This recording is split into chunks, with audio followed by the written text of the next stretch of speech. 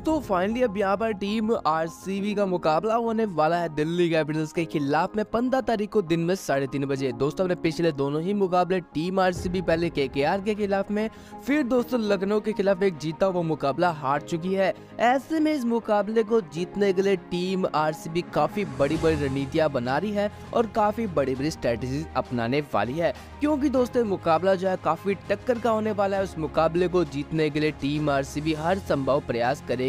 दोस्तों, पिछले मुकाबले बल्लेबाजी का कोई तोड़ नहीं। क्या बेहतरीन बल्लेबाजी करी थी, क्या बेहतरीन फील्डिंग करी थी। लेकिन दोस्तों, गेंदबाजी एक बहुत ही बड़ा माइनस पॉइंट साबित हुई। लेकिन दोस्तों, इस बार ये हमारे favourite Hasaranga Wanindu Hasaranga team RCB को ज्वाइन कर चुके हैं। और दोस्तों, इस मुकाबले में डेफिनेटली खेलेंगे। तो ऐसे में दोस्तों एक बहुत ही बड़ा प्लस पॉइंट हम कह सकते हैं टीम आरसीबी को मिल जाता है। और दोस्तों आपको बता दें कि चौदह तारीख को यहाँ पर जोश हैजलवुड भी टीम आरसीबी को ज्वाइन कर लेंगे। शायद वो आपको ना खेलते नज़र, आए यहाँ पर दोस्तों प्लेइंग इलेवन में ना शामिल होते नज़र आएँगे। लेकिन दोस्तों हसरंगा जो है काफ़ी बेहतरीन फॉर्म में नज़र आ रहे हैं काफ़ी बेहतरीन गेंदबाजी करते नज़र आ रहे हैं और काफ़ी बड़े बड़े हिट्स जो है लगाते नज़र आ रहे हैं टीम आरसीबी के लिए। प्रैक्टिस कैम्प में तो ऐसे में दोस्तों कह सकते हैं कि वनिंदो हसरंगा अपनी पूरी तैयारी से आए हैं उस बार डेफिनेटली टीम आरसीबी को जिता करके मानेंगे। तो ऐसे में दोस्तों बात करें प्लेइंग इलेवन क्या बनेगी?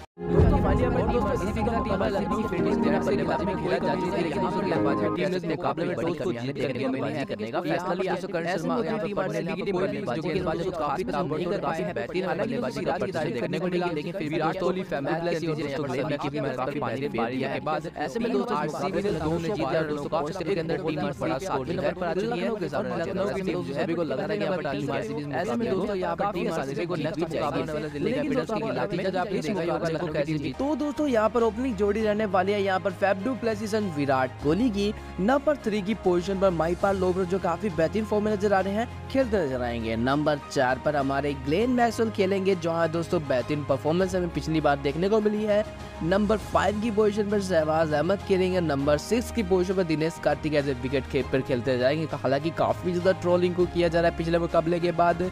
नंबर सेवन की पोजीशन पर आपको अनुज रावत या फिर सुयस प्रभु देसाई खेलते नज़र आने वाले हैं। नंबर एट की पोजीशन पर आपको यहाँ पर डेविड विली खेलते नज़र आएँगे। नंबर नाइन की पोजीशन पर कोई भी दो राय नहीं है। यहाँ पर हसरंगा खेलेंगे। नंबर दस की पोजीशन पर हर्षल पटेल या फिर आकाशदीप जो है आपको खेलते आ सकते हैं। हालाँकि दोस्तों, यहाँ पर अविनाश सिंह का भी ऑप्शन आपको देखने को मिल जाता है। नंबर ग्यारह की पोजीशन पर आपको मोहम्मद सिराज खेलते नज़र आएँगे। तो दोस्तों, कुछ इस तरह की प्लेइंग लाइन रहेगी दोस्तों, आप नीचे कमेंट करके बताइए आपके मुताबिक क्या प्लेइंग लाइन बेस्ट रहनी चाहिए, क्या इस मुकाबले को टीम आरसीबी जीत पाएगी कि नहीं जीत पाएगी, नीचे कमेंट बताएगा वीडियो पसंद वीडियो को दिल से लाइक कर दीजिए, चैनल को सब्सक्राइब कर लीजिए।